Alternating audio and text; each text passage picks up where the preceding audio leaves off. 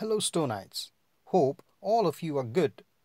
Today we will be learning about the digestive system, what do the kidneys do, and what does the brain do. You can keep your textbook with you for reference. And do watch the video attentively to understand the lesson. The digestive system. All living organisms need food to grow and develop.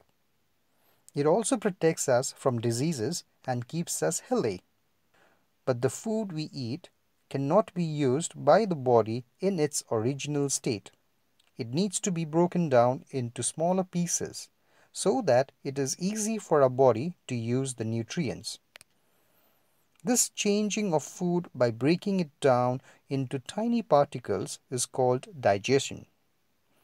The stomach and the intestines are the main organs that digest our food. The digested food or the nutrients from the body is carried to all parts of the body by the blood. Your parents must be telling you to chew your food properly and eat, and not to eat in a hurry, right? Well, that's because when we chew the food in our mouth, we are making it into smaller pieces and the digestive juices or the saliva in our mouth makes it softer and easy to swallow the food.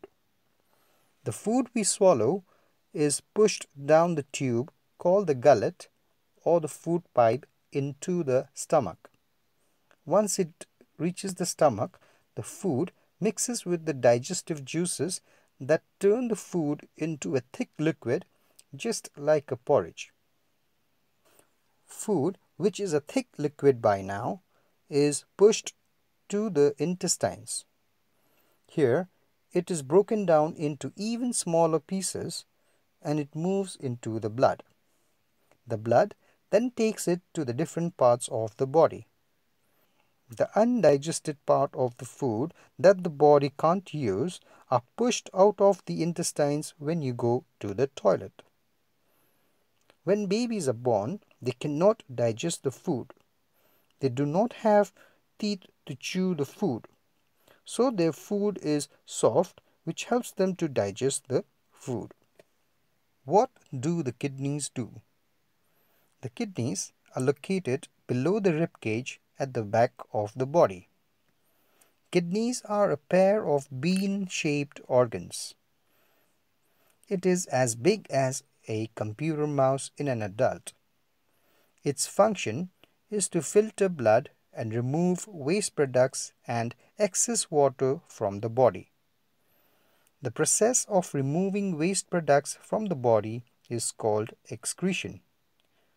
The kidneys excrete a liquid waste product called urine. We remove the urine when we go to the toilet. Every day, our blood passes through the kidney about 40 times to produce about 1 liter of urine. We have to drink a lot of water, about 6 to 8 glasses, to keep our kidneys healthy. If the blood stops flowing into the kidneys, we can die. If any of our kidneys stop working because of diseases, doctors can remove it we can still work well with one healthy kidney. Some people do not have healthy kidneys and both the kidneys stop working. They will need to go to a machine that acts like a kidney to filter and clean blood. This is called dialysis. Sometimes people have a kidney transplant. This means that they get a kidney from another person we produce less urine in a hot weather than in a cold weather because when it is hot, we lose a lot of water from our body as sweat.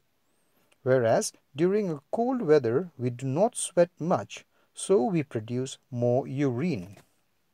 What does the brain do? How do we remember our way home? Or how do we breathe without thinking about it? How do we know when we are hungry or thirsty? Where do dreams come from? All of this is done by the brain. The brain controls our entire body. Everything that we do is controlled by the brain, from breathing, heartbeat, dreams, memory, movement, thinking, intelligence, and our senses. The brain is a soft, grey, wrinkly organ. It is protected by the skull. The brain is connected to the other parts of the body by nerves. Nerves send messages from the brain to the other parts and back to the brain. The brain and the nerves work together to form the nervous system. The different parts of the brain. Cerebrum. Cerebrum is the largest part of the brain. It forms the upper part of the brain. Its functions are to control the sense organs, learning, problem solving, motor skills, imagination, creativity, and much more. Cerebellum. Cerebellum is located below the cerebrum. It is at the back. Its functions are to control our balance, posture, and movement. Brain stem. Brain stem is located at the base of the brain. It connects the brain to the spinal cord. Its functions are to control the actions such as heartbeat, breathing, blood pressure, blinking, sneezing, and so on. Well, what happens if your brain is damaged? If the brain is damaged, then it can be serious as brain is the most important part of the body. The brain usually cannot repair itself like other organs. Our brain can be affected by germs that causes infections. Sometimes people have growths on their brain called tumors. Lack of oxygen and head injuries can also cause damage to our brain. Therefore, we must be careful with any injuries in our head and consult the doctor if necessary. So we have completed the lesson. I would like all of you to do some drawings. Take a time and do it in your free time. Firstly, on page 6, we have the human body. In page 8, the heart. Page 13, breathing.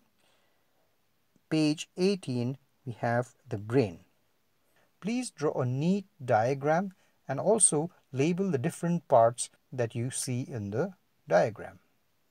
Thank you very much and have a blessed day.